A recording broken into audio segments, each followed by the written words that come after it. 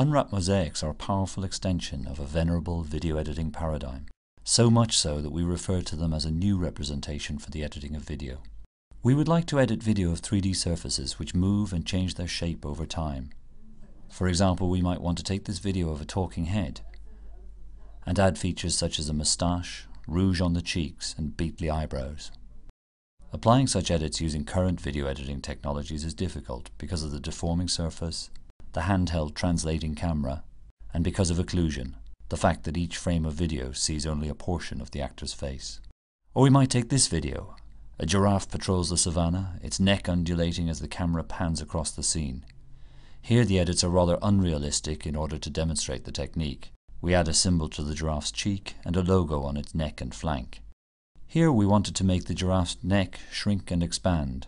Segmenting the layers is an easy manual process, but where the neck shrinks, we need to fill in the newly revealed background pixels by copying pixels from other parts of the sequence.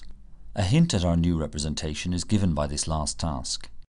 Because the camera is panning, the motion of the background between any pair of frames is accurately modelled by a plane perspective transformation or homography, and it is easy to create a mosaic which represents the entire background at once.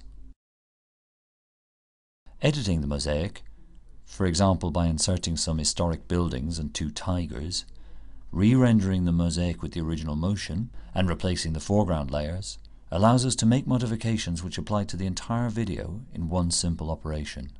For this task mosaic creation was easy for two reasons. The camera is panning, and the background is, for the most part, rigid. Our paper shows how we can build mosaics for general deforming objects with general camera motion. We shall see later how the mosaic is computed, but let us first see how it is used for editing. Here we see the unwrapped mosaic extracted from the face sequence we looked at earlier. An artist paints directly on the mosaic this edit layer of moustache, eyebrows and cheeks. Then we re-render the layer into the sequence using the warp field associated with the mosaic. Here we show the edit layer being emphasized as the edited mosaic is warped to match the motion of the original sequence. Now let's look at the extraction of the mosaic from a video sequence. We begin as we might in computing a planar mosaic by focusing computation on interesting patches in each frame and tracking these patches from frame to frame. This gives us 2D trajectories, one per patch, which can be viewed as points in a high-dimensional vector space, one projection of which is visualized here.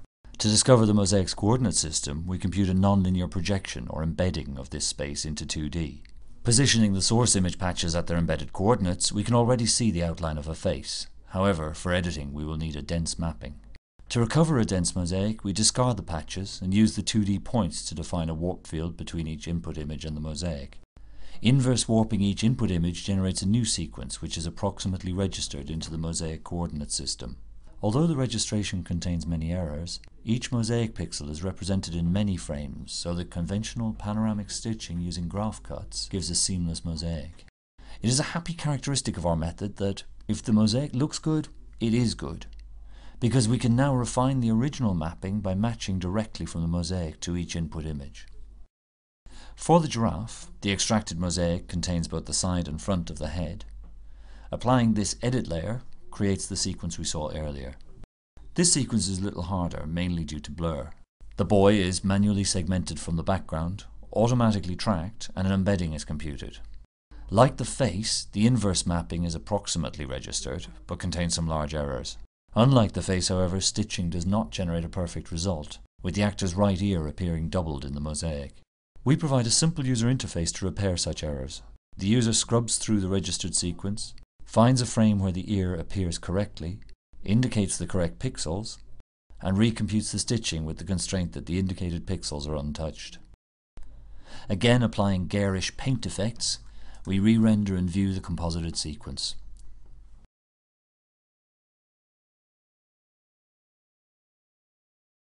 At the limits of what we can do, this rotating toy has protruding arms and cylindrical topology. The mosaic represents the torso and legs reasonably well, but truncates the tail and arms. And the repetition of the right arm also shows that we have not currently implemented cylindrical topology for the embedding space.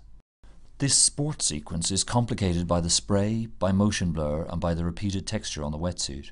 The recovered mosaic does not include the actor's back and contains two copies of his legs. We end with a few more examples of the technique in use. This cliff sequence shows that unwrapped mosaics can cope with zoom, and also that unwrapped mosaics might offer advantages even for tasks which traditional effects software handles well. Although the sequence would be hard for current systems based on planar mosaics, it would be an easy job for today's 3D animation and match moving packages. With unwrapped mosaics, however, the user interaction can be very much simplified. Compute the mosaic, paste on some photos, and re-render. The lighting is wrong, the geometry is basically flat, but the overall effect is not bad, and the whole process is simple enough that one might imagine home users making such animations, something that's not really conceivable with today's 3D packages.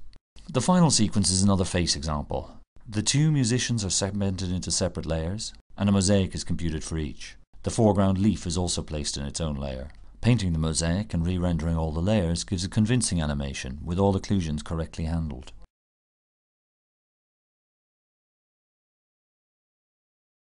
Of course, not all edits need be augmentations. We can also edit the mosaic to remove or paint out features, as this final example illustrates. Mosaics have been around for a long time, but until now they have been useful only in the special cases of planar objects or panning cameras.